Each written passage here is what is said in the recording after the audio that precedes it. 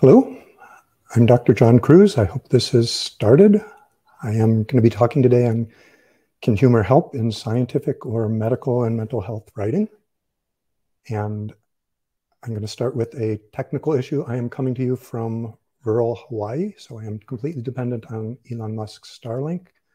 So whatever we can do to keep in Elon's good graces for the next half hour so this connection doesn't go down. Um, so thoughts, prayers, naming your first child X, human sacrifice, whatever keeps Starlink happy, hopefully will keep us going. So I'm going to give a few introductory talk or sentences, and then I'm going to actually do some reading. And I know this is a Medium's a Writer's platform. It's a little strange to me that nobody's been reading anything that's been on Medium, and so, but I will celebrate human stories by reading something I posted a few years ago. Um, what I posted was a response to what another writer on Medium had written, and I have contacted that individual, and they are fine with my both my original article mentioning theirs and linking to theirs, and my talking today on this. So, in the topic of can humor help in scientific and medical writing, what's striking is there's lots of good humor sites on Medium. There's lots of people writing about politics and other areas who use humor. And in the world of scientific writing, medical writing, mental health writing, except where it's people who have a condition writing about their own self, um, humor seems to be largely avoided. And I think we are missing an opportunity by doing that. So there are humorologists, and there are people who study this for a living, divide humor into two basic categories. Not that they there is overlap between the two, but one type of humor is derogatory, making fun of others, I'm not addressing that type of humor, which I don't think has a place in this. But the bigger body of humor is presenting someone with something that's unexpected or coming from two different directions. They have to reconcile it, they have to reframe their thinking. And there is research that shows that that introduction of humor helps prime people for new learning, that they do a better job of learning new material in a situation where there has been joking and smiling and humor used. And there's also evidence that the connection between the person delivering information and the audience is enhanced by the use of humor. So I would argue based on those principles, we should be using humor more often. I should give the caveat that almost all that information is based on humor in the classroom. So someone giving an oral presentation and that may be different than using humor in writing, which from what I can find is much less extensively researched.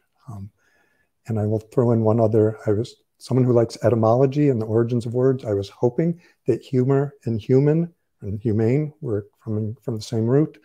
Um, unfortunately, human comes from Greek word meaning of the earth, distinguishing us as not being gods, whereas humor comes from another different Greek word meaning moisture, where we got the bodily humors and then went to humor. So I'm going to launch into my story and then most of our sessions should be question and answer. I had tried to seed it with some potential questions, but they seem to have deleted them. So my article, which appeared in the publication Invisible Illness in July of 2021, was titled, If You Want to Smile, Give a Smile.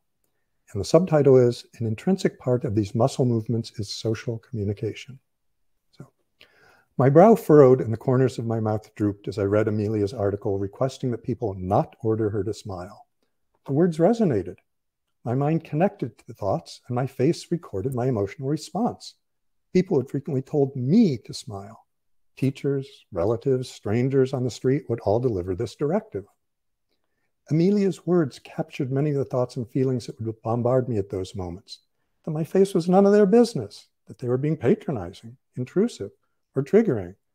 That I didn't want to present the world with a fake social smile just to make them happy. But the psychotherapist and neuroscientist parts of me now provide responses that I didn't have access to as that somber little boy. An unhappy child? I didn't consider myself an unhappy child. I was shy, reflective, and extremely quiet. I spent a lot of time in my thoughts. I rarely initiated conversations. My fifth grade teacher could and often did count on me to deliver the correct answer to almost any question she asked. But she was also surprised to discover at the end of the school year that I had braces on my teeth. Those clunky, clunky metal bands had been encircling my incisors since second grade. Had I ever opened my mouth wide enough to smile in class, everyone would have seen my braces sparkle.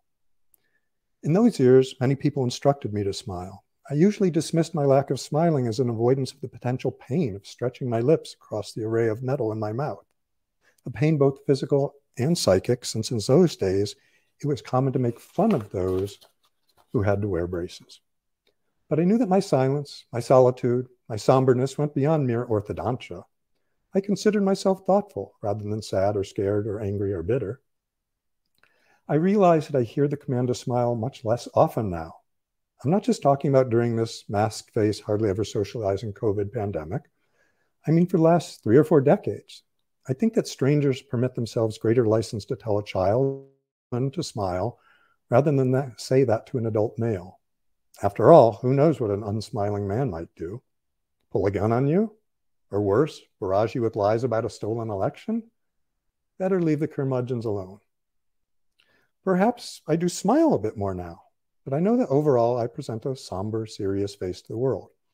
The fact that fewer people now tell me to change my facial expression supports Amelia's perception that interlopers are being at least somewhat overly familiar, as well as patronizing when they command others to smile. Most of the people who remind me to smile these days are friends and family. Why would anyone want to get involved in my facial expressions? My reaction to the question posed by Amelia isn't a rejection of her feelings or experience. I don't want to replicate the presumptuous, intrusive, awkward, and inappropriate directive of being told to smile by telling her that she needs to eradicate her current responses and replace them with my suggestions.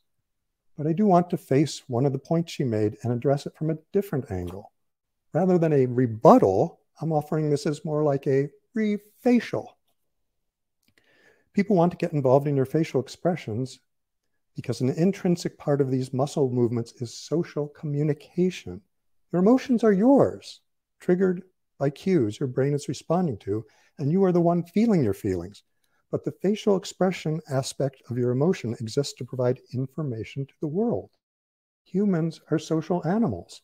So, in a weird way, your smile or lack thereof isn't just your smile, it's a smile for the whole community. Playing peekaboo isn't just an exercise teaching a baby about object permanence.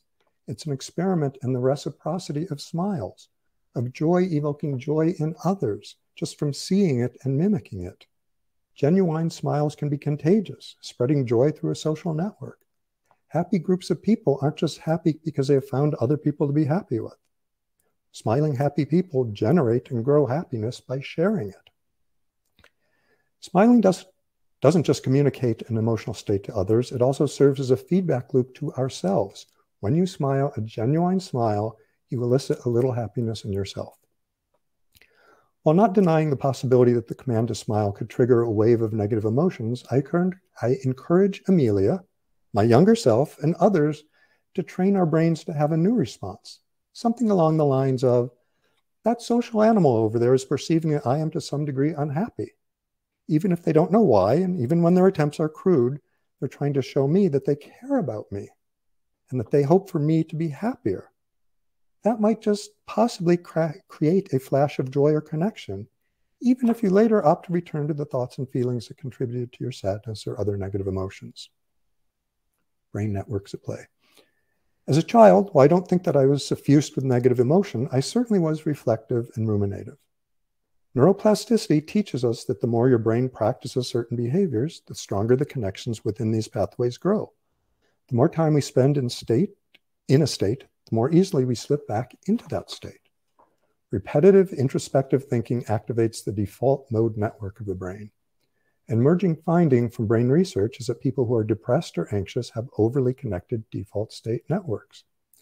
Negative rumination serves as practice for us becoming so profoundly mired in our negative thoughts patterns that we have trouble escaping by ourselves. We can use this knowledge to hear the plea from another person telling you to smile in a different way. The instruction to smile can be a lifeline, buoying you up by pulling you out of your ruminative default mode network. By engaging in life, by interacting with another human, we switch out of our default mode network and into one of our salience networks. At least temporarily, we are no longer practicing being depressed or anxious. We have in, inactivated an introspective default option. My mother, not a particularly jovial individual herself, delighted in the joke, what's the longest word in the English language? Smiles, because there's a mile between the two S's. Well, rather than making an S of ourselves, we make the earth a smaller, more joyous place by sharing smiles. If you don't want to smile, fine, don't smile. But try to hear other people's entreaties as an invitation to join them in a happier world. You might actually like it. And if you want others to smile, don't tell them to smile. Give them a smile. So that's the end of my written statement. I did have some seated question and answers. I'm not seeing them. So I will be taking any question and answers right now, and I'm not sure where they might appear in the chat. Um, so I can't see if anyone's trying to write in right now or if I'm looking in the wrong place. So one of my questions is, when can humor, I mean, separate from when it, again, if it's derogatory, I think humor is inappropriate um, and that doesn't have a place. But the humor, people who write about humor and learning have pointed out that there are at least two other situations where humor can be a distraction. I mean, so three at least. One, if the humor is completely off topic and just irrelevant. You, know, you have, might have a delightful clown as a teacher who's joking about, you know, their own home life or current events. But if it doesn't tie in in some way to the topic involved, the research suggests it doesn't enhance learning. Um, so two other ways humor can be disruptive or push things off track. One is if it's too funny, actually. So if you're too funny and people are guffawing or laughing or repeating it to their friend or who didn't hear it all or repeating it to themselves for the next several seconds, then you've lost your audience. And uh, again, that could be happening in a written humor situation as well. And the other place that it can be distracting is if the humor is too obscure or misses the audience. If people know that a joke is made but aren't getting the joke, then they're spending their time puzzling and trying to figure out what was said. And again, that's disruptive rather than conducive to the learning experience. Um, so another question that comes up is there, again, aside from the derogatory type of humor, are there just topics that are too loaded to too off limits for joking around? And I would argue, you may not like his sense of humor a lot, but that people like Mel Brooks have shown that even the most horrible situations, and the Holocaust, Hitler, genocide are, are there. Um, both Mel Brooks and host of other artists have found ways to use humor to enlighten us, to use the horrors of what went on there, to open people's minds. And some might say it's trivializing, some might be dismissive, but I think, and it may not appeal to everyone, and some subjects are too, maybe too taboo, but humor again is a way that helps us reframe the world and look at things differently. Um, what were the other so i'd written down several questions. I'm not seeing they, they seem to have been deleted.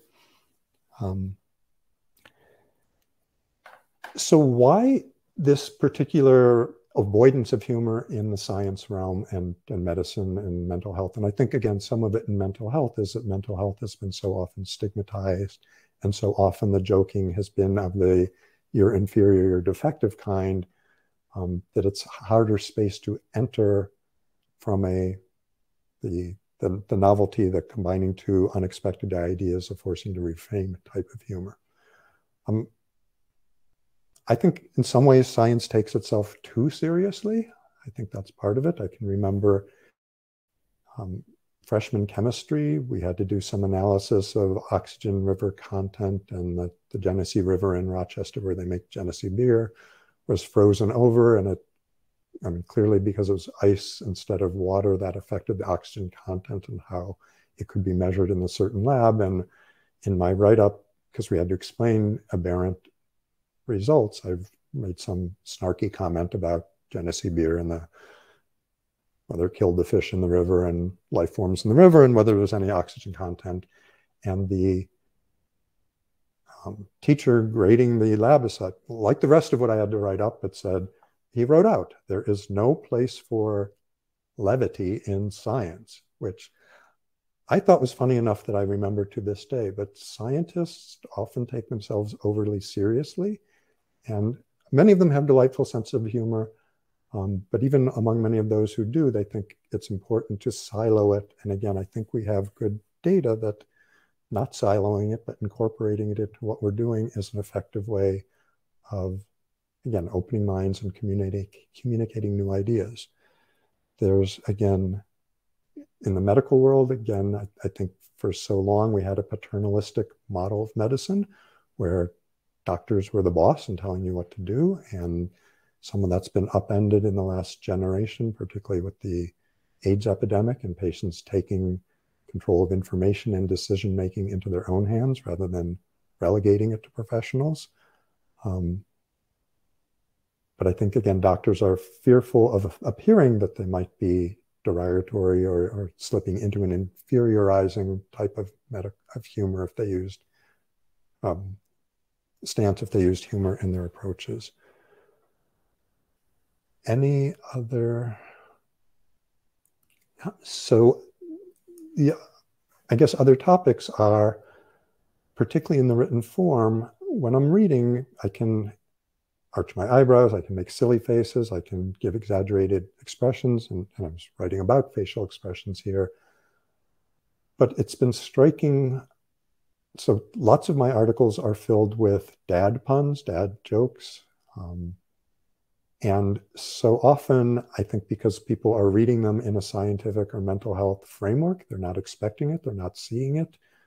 Um, one editor who I liked and worked with on several different articles, and in all of them, particularly in the last paragraphs, I tend to put lots of puns and dad jokes. She highlighted one of them and said, Was this intentional? And I sort of had to sheepishly say, yes, it was quite intentional and purposeful. This is a joke. And there were actually three or four that you didn't even catch in that last paragraph. So that's the gist of what I have to say. And again, I think there's a way that I should be seeing any questions or answers or eliciting them, but I am not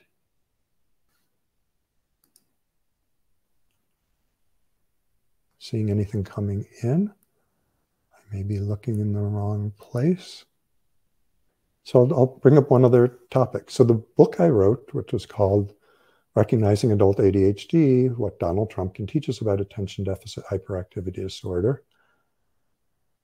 I viewed Donald Trump as a perfect teaching environment. Um, I did use some humor, and I think I was trying to use it in a open-ended way and not a derogatory way.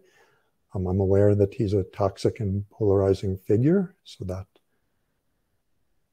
may have also deterred people. But I, again, I think we can approach serious topics with respect, with depth, with introspection, with converging of new concepts and ideas without being derogatory, without being demeaning.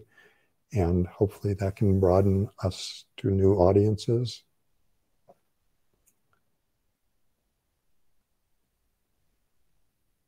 So I did. So again, I think some people, many people were deterred from reading my book just by the topic of Donald Trump, but I think others interpreted that if I'm bringing him up in a serious conversation, I must be trying to be derogatory. I must be.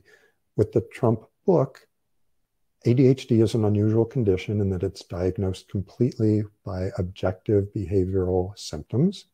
So whether someone interrupts much more than someone of their age and socioeconomic background should be doing, whether someone's making careless mistakes, whether someone's blurting comments out, whether someone is walking around when it would be appropriate to be sitting down. Um, Mr. Trump clearly, objectively, far surpasses the criteria for ADHD. So, unlike most of our other health, mental health conditions, where we need to know what's going on inside his head, the, ADHD, he meets the full criteria, and therefore I can say we can objectively talk about him or use him as an example to highlight points about what ADHD might be like in other people. Um, so again, I believe that can be used in a non-derogatory way. Again, many people with ADHD didn't want to be associated with Donald Trump. Many people on the political right thought that unless you are praising him as the second coming of MAGA, then that was derogatory and that shouldn't be tolerated. Although several people on the right found that my book humanized him in terms of helped them understand the parts of Trump that they didn't like, that some of his abruptness, some of his rambling, some of his going off track, some of his chaos and confusion were manifestations of ADD. And there were people on left who didn't like the book because they felt, rather than completely condemning the man, anything that helped you understand him as a human was a disservice because he should be gist as a human. So navigating humor can certainly be hard, certainly more difficult in a polarized political environment. Um, I'm still not seeing any questions coming in, I'm not sure if I'm looking in the right place.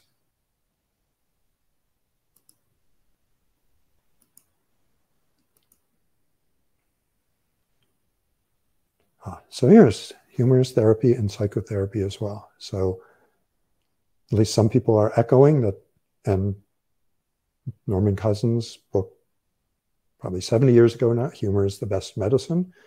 It helped him overcome a severe, potentially disabling and lethal condition. And, and again, in psychotherapy, it has to be used delicately so it feels like you are laughing with someone rather than laughing at them.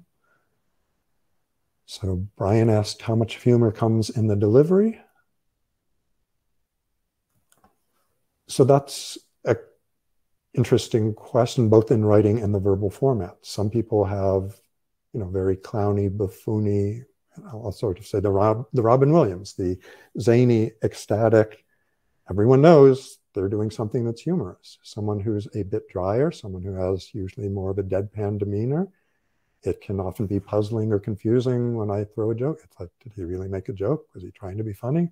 What's going on here? So delivery is important. And I think, again, it's even harder on the written page. Again, there many times, I think the majority of what I've written that I thought was humorous, if I had said it out loud or said it in a format like this, people would have caught on that, that there were jokes there and they might not have, or they might not have consciously, but maybe at some other level, some of it penetrated, some of it came through. Um, yeah, so there was a movie, Robin Williams played Patch Adams, who was, I, I don't know if that's Cornell's referring to a movie, um, and I think it's Robin Williams movie. I mean, most of Robin Williams movies use humor in, in effective ways to convey ideas, but Patch Adams is a real life doctor who used clowning as sort of an advoca- avocation, brought it into his medical practice to reach people, and he was treating people in what we used to call third world countries and others, but was able to reach them um, through through using humor. And so, so embedding medics or embedding humor in medicine. Yes, Pat Adams. Um, so Pat, and who has edited some of what I've contributed to the fourth wave, I believe, if I'm remembering the publication right. Um, yeah, so she addresses that that in addition to ADHD, Mr. Trump is extremely likely to have a host of other psychological issues going on. I won't get into that in any depth. So that makes it again particularly difficult discussing him in any format, and particularly if humor is coming into the situation, and particularly given that he's so politically polarizing. Any other thoughts or questions or funny jokes anyone's heard today? Or I guess sounds like you've all renamed your child X or prayed to the right gods because Elon Musk has continued to provide Starlink service for this half hour. Um, so again, my, my book is, I said, three halves. One is using Donald Trump to explain ADHD to people because he's such a vivid in our face example. Um, you don't need to have someone in your life, but but many people have read it, either realize, oh my God, that's describing some aspect of me, or my wife, my husband, my coworker, my boss, my kid. So it's using Trump to explain ADHD to people. It's also, again, using ADHD to explain Trump, because if you think he's only a narcissist or only a sociopath, he doesn't make sense as only a narcissist, because a narcissist wants you to think that he's a stable, brilliant genius. But if you're doing things constantly that show that you can't keep track of your own thoughts, are contradicting what you said a minute ago, are again, he undermines himself so much, and the undermining is largely a factor of his ADHD. And then the third part of the third half of the book was about how our whole culture is getting more and more ADD like. So the book came out in 2019, even before the COVID epidemic, but there's things like our changes in how we sleep, changes in how we eat, changes in use of social media, changes in um, probably the video screen component of, of what we're doing with our time and lives are changing all of us. So all of us are becoming a little more ADD like. And actually, as we become more ADD like, we engage more in all these changes. So again, I think I'm one of these people who, I'm not really, believes Elon Musk is doing everything to save mankind. And I think his number one project has been destroying Twitter. He's doing a great job of that. And that's probably the best thing for all of mankind he can do. And again, Twitter is a medium that encourages you to, you only have a few characters. You're going to have to respond to what's emotional. You have to respond to what's non nuanced, what's just a skimming of the facts, or maybe not even including any facts. But the more we participate in that, the more our own reactions change and our own thinking changes, and we have less time to pause and to think and to put it in context and to think rather than just emote and react. So our whole world is changing.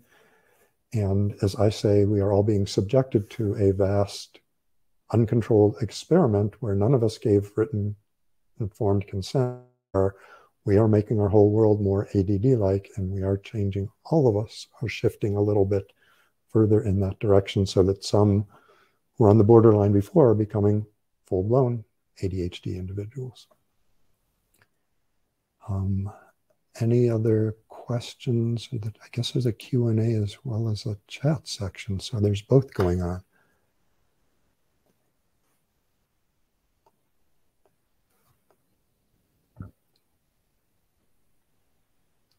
So Dion asked, do you think writers should put humor in the article's featured images to lead with humor? So one of the things that Medium is trying to do is to make sure that our pictures and our titles more closely align with the content. So I think that's a loaded question. So if if the humor is tied in closely enough that someone gets it and it pulls them into the article, I think that would be great. And if it's more a side comment or a jokey, non-related tie-in or pun, then it may be less powerful or useful. But but I often, um, so I wrote an article recently about digital medications, and I use the analogy that you have to match digital med medications to the individual. That we shouldn't be moving to a world where every pill we take has a sensor in it and is monitoring you. So I used the metaphor of matching that we need a match, and I but I built it a little more extensively throughout the article, and and the picture I used was a, trying to use a match and a picture of a face or a brain or a human to combine the two. It may have been too esoteric, and the title I also used should be "Who's Who's a Good Match for Digital Medication." There, I think it's used in an integrative way, but I don't know that that got it's a boosted article and it's gotten many fewer hits than other recent ones. Maybe the title is too obscure. Maybe it needs more time. Um, but I think, again, care has to be taken. But I think if, if it clearly ties in and is intrinsic, I would say, sure, go with it. So Karen asked, would it be offensive to write an essay on everyone today having a label, ADHD, ADD, OCD, HSP, autism spectrum.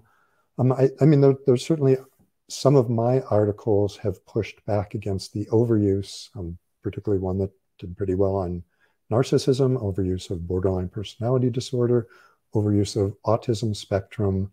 I mean, autism spectrum is a particularly interesting one. From a basic science clinical point of view, the whole essence of autism is a difficulty in social communication, not just it's not a desire not to be socially interactive. It's it's that it's hard to connect. You're not wired quite that way, and to see the proliferation of identity groups joining together as we are all people who can't relate to people. I, I think there's actually an element of humor in that, and I think those groups both attract people who genuinely do fall on a very broad ASD spectrum, autism spectrum disorder, but it also incorporates a mismatch of people with social anxiety, um, other issues that are getting confused, but the ASD label is more popular right now. So I see my time is up, so I will wrap things up. I will be talking in half an hour on plagiarism and writing. So thank you for being here. I enjoyed the talk. It went quickly, and I'm on Medium, and my book is out there. So have a great and happy day.